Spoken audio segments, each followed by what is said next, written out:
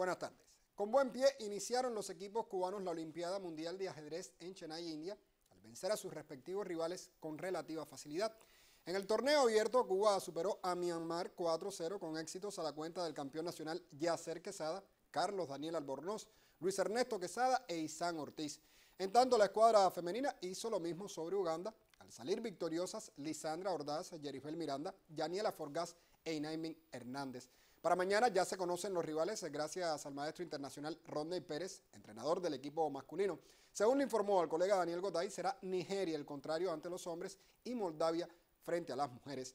El certamen está previsto a 11 rondas por el sistema suizo. Y este viernes concluye el Campeonato Panamericano de Levantamiento de Pesas con sede en Colombia, donde Cuba intentará alcanzar la mayor cantidad de boletos para los Juegos Panamericanos de 2023. En la fecha ya se dio el primer resultado satisfactorio y es que Elizabeth de Reyes en la división de los 87 kilogramos estableció récord panamericano juvenil en envión y biatlón. La antillana sumó así otras dos medallas de plata y bronce para nuestra delegación. A esta hora compite Juan Columbier en los 109 kilogramos del masculino. En la tarde también verán acción Marifeli Sarría y Dalia Correa en más de 87, así como Rolando Cabana en más de 109 kilogramos.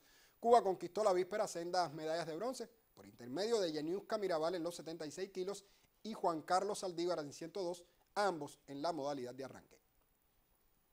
Y la cubana Arlene Sierra entró hoy en el onceno puesto en la sexta etapa del Tour de Francia femenino y ocupa ahora el lugar 26 de la general individual. Arlenis es lo mejor por América Latina hasta el momento y la segunda del equipo Movistar por detrás de la extra clase Annemiek van Bluten. La también neerlandesa Marianne Bosso sigue al frente de la competición. Cambiando de tema, la Serie del Caribe 2023 será histórica por la participación de ocho equipos. El comisionado de la Confederación de Béisbol Profesional del Caribe, Juan Francisco Puello, se mostró entusiasmado con el progreso alcanzado por el comité organizador para brindar un espectáculo a la altura de las circunstancias. Según Puello, se trabaja para un evento magnífico gracias a la seguridad que ofrece Venezuela. La Serie del Caribe se inaugurará el 2 de febrero y se extenderá hasta el 9 del propio mes. Y a propósito del béisbol, la selección femenina cubana se alista en el Estadio Latinoamericano con el objetivo de buscar una de las cuatro plazas para la Copa Mundial que otorga el Panamericano de Venezuela. Pablo Otero, desde ese recinto, nos brinda más detalles. Adelante, Pablo, buenas tardes. Sí, muchísimas gracias Alejandro. Efectivamente, aquí estamos en el Estadio Latinoamericano presenciando uno de los juegos de preparación del equipo Cuba de béisbol femenino que se prepara para el campeonato premundial que será en Venezuela a partir del 12 de agosto.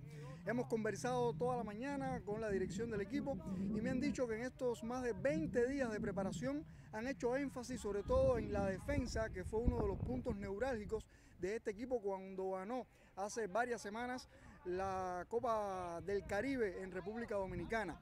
También el picheo con el problema del control que tradicionalmente ha tenido este equipo cubano femenino y en la ofensiva han trabajado más la construcción de carreras, la velocidad en función de la ofensiva. Repito, más de 20 días de preparación lleva este equipo cubano de béisbol femenino. Partirán el día 10 a Venezuela para enfrentar a partir del 12 de agosto el premundial que otorgará cuatro plazas al Campeonato del Mundo del año que viene.